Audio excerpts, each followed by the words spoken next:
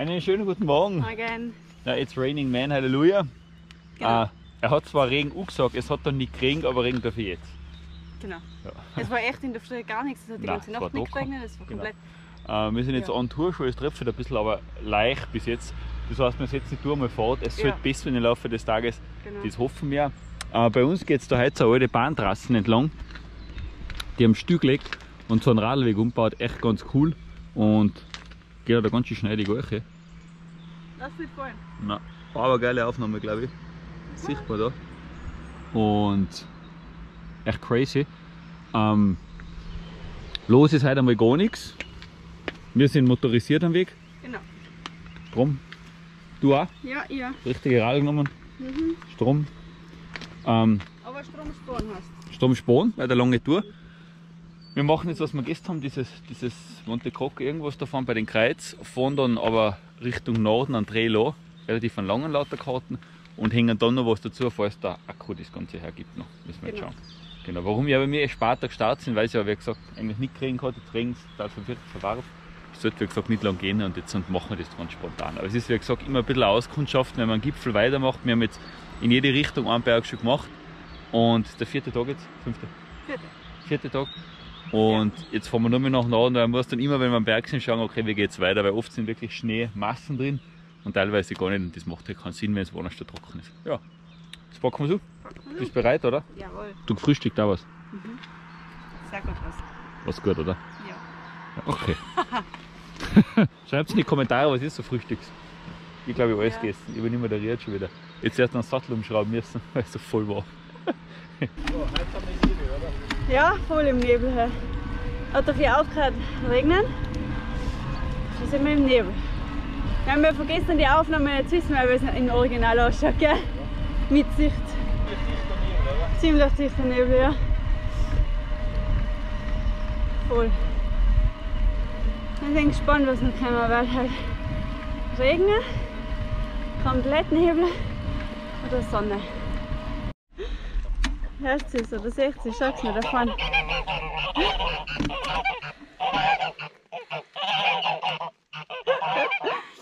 Den haben wir gestern schon gesehen. Geschafft haben wir es. Schau's mir bitte. Das ist nur der Nebel. Seht es mir nicht hoch. Ich habe da auf die Haxen auch so viel Haar, da hängt, als wäre mit der kommunizieren, das ist noch Ja, voll jetzt auch. brutal. Also echt. nass. Ja. Sicht Bombe! ist nicht besser geworden. Bombe! Ich weiß nicht, ob es schlechter geworden ist. Auf jeden Fall auf jeden Fall gleich. Den einzigen Vorteil, was man, man sieht am Weg noch, wo man fahren kann. Weil Ja. wenn es jetzt Schnee war, dann war es echt ein Problem. Das stimmt. Whiteout. Also man sieht ihn echt gut, ja. Ja. Auf jeden Fall super. So schaut es da aus. Ähm, man kennt es jetzt nicht, aber von da sind wir gestern angekommen. Also das ist jetzt bis zum Kreuz nochmal der gleiche Genau. Trail, oder? Und dann geht es dann für uns rechts weg. Nordenweg, genau. Geil. Coole Sache. Auf jeden Fall. Ja. Bahnhofschwenk bringt jetzt nicht viel. Nicht wirklich. Da ist Das meins ist noch. Ja.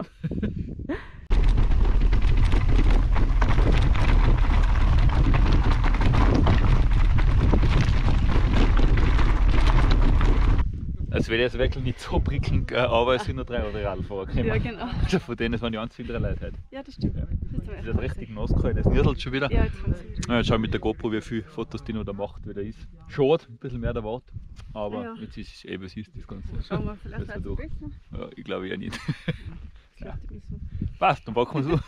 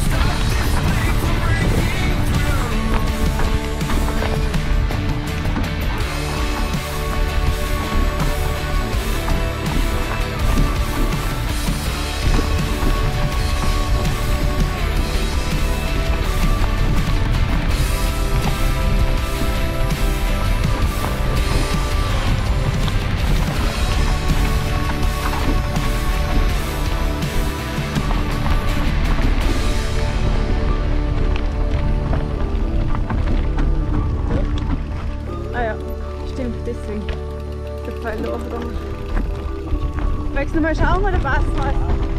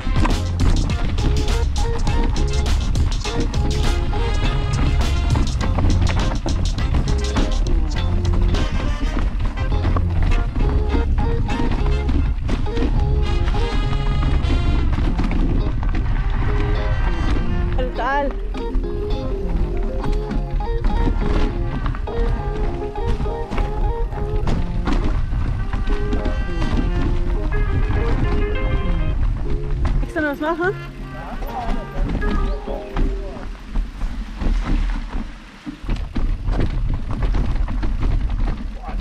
Ja, teilweise voll, gell?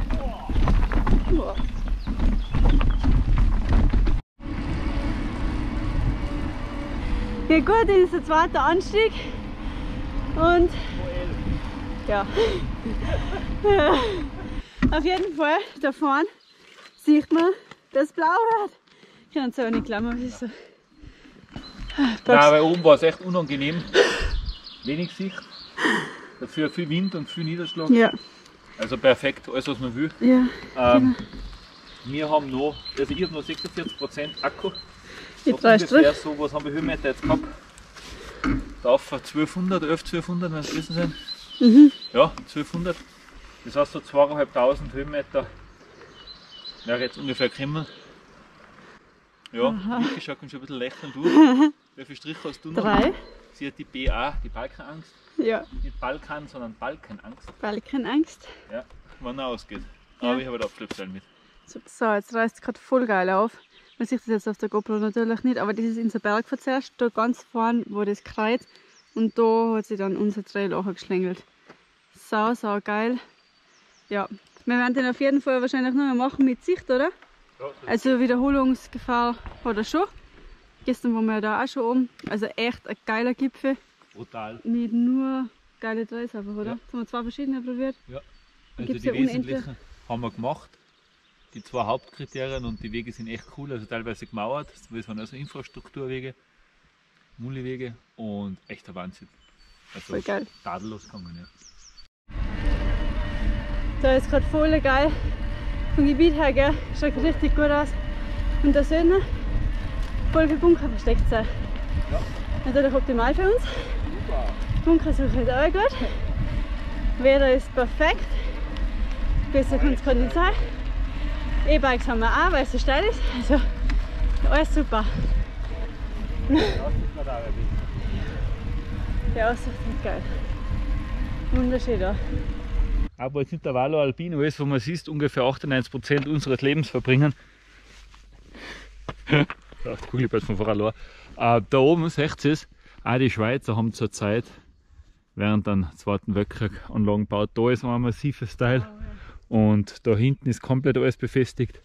Und das schaut sehr imposant aus. Also mit der GoPro ist die Linsen sauber. Ja, die ist sauber.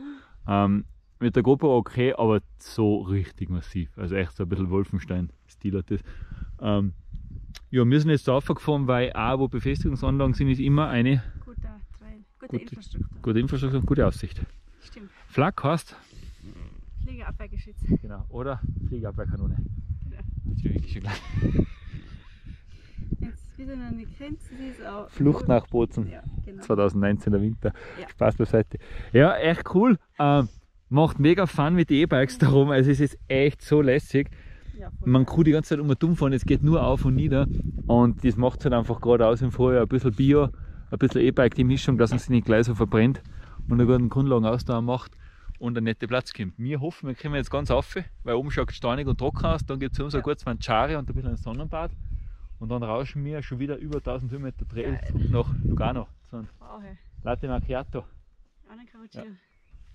Bei uns natürlich so finanziell in Österreich ist es wieder eine andere Liga wie in der Schweiz, weil der Schweiz ist ein bisschen teurer. Wir hoffen, wir schaffen es noch bis zum Ende von dem Trip, dass wir unser Essen da finanzieren. Ah, Ansonsten fangen wir halt Rad verkaufen. ja, nutzt eh nichts. Na, Spaß beiseite. nein. Also Schweiz ist echt ein bisschen eine andere Sache. Das passt, man muss halt ein bisschen schauen, wo man umgeht und was man tut. Wenn man es gut ausnutzen kann, finde ich es preislich okay, äh, weil es ist super sauber da, echt krass. Super freundlich in der Schweiz bis jetzt. Also jeder auch im Hotel, die haben uns alles gesagt, darum gekümmert. An die Polizei und so, wenn du was fragst, Wahnsinn, die Leute, das ist total entspannt. Also wirklich coole Sache. Ja, auf jeden Genau. Fall echt. Da Was an dem Gebiet halt ist, ist 60. Wir haben uns jetzt da relativ in der Waldgrenze noch bewegt ähm, mit dem Bewuchs. Klar, um die Jahreszeit hat man halt den gewaltigen Vorteil, dieser Bewuchs ist nicht da und dadurch ist es halt extrem leicht. Ähm, wie das dann im Sommer ist, beziehungsweise wenn die Vegetation stark wird, ich weiß es nicht. Wahrscheinlich der Monte Tamaro. Die Wiki hat aber gemeint, der heißt Camaro, weil es ist auf dem Chevy steht. Chevy Camaro, gell? Mit einem Vierzylinder Diesel, 2 Liter Turbodiesel, oder was hat der genau, Hubraum? V8. Nein, V8, genau. Mhm. Wie mir gibt es da vor? Also wer einen Camaro hat, der hat die Wiki, sage ich einmal. Ich habe keinen Camaro, ob sie trotzdem, das muss wahre Liebe sein. Danke. Egal, dieser Monte Tamaro ähm, wird sicher cool sein und so, glaube ich. Der geht jetzt noch gar nicht. Und woanders, da muss man dann halt echt gut schauen, weil wenn das Vegetation zuschlägt, dann schlagt es die wirklich zu. Also ich kann es nicht sagen, ich war im Sommer noch nicht da, ich Ja. vermute es einmal.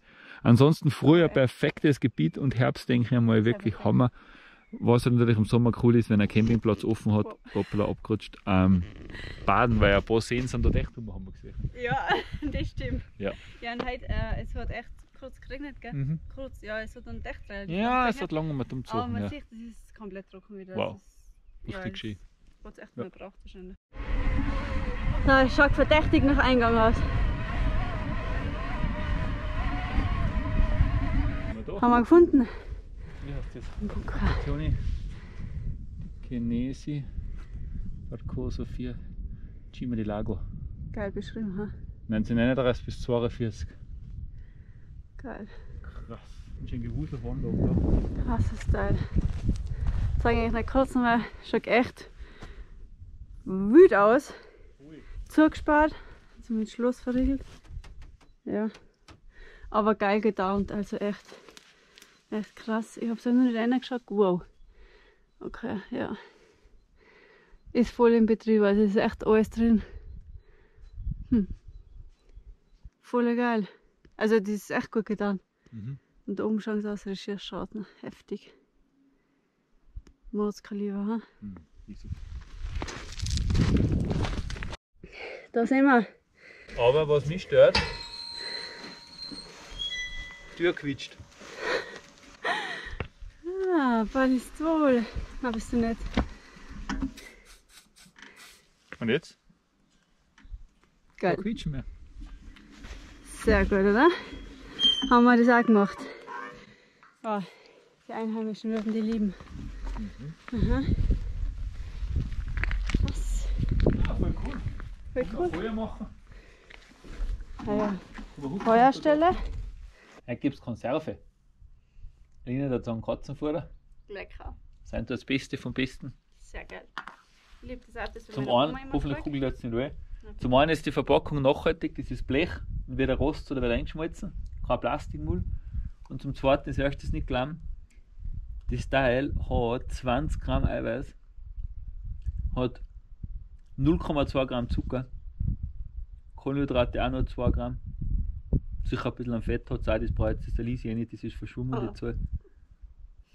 Das ist Hammer. Voll geil. Ja, Spaß beiseite, echt eine coole Sache, mag ich voll gern. Ja. Und ja, lass uns den schmecken, oder? Ah,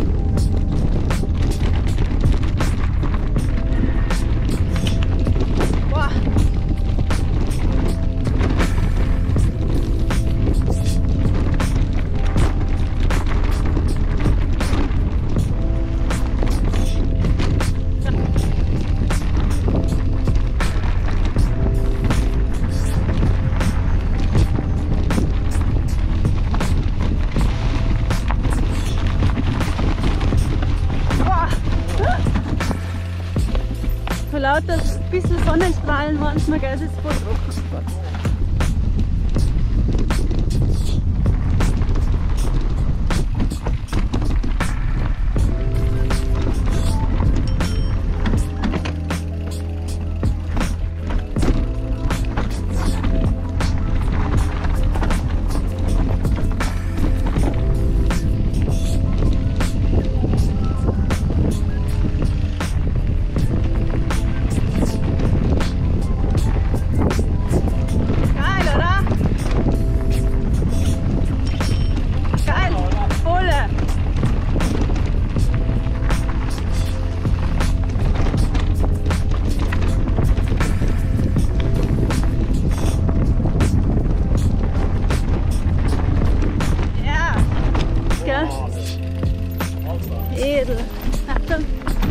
that shit.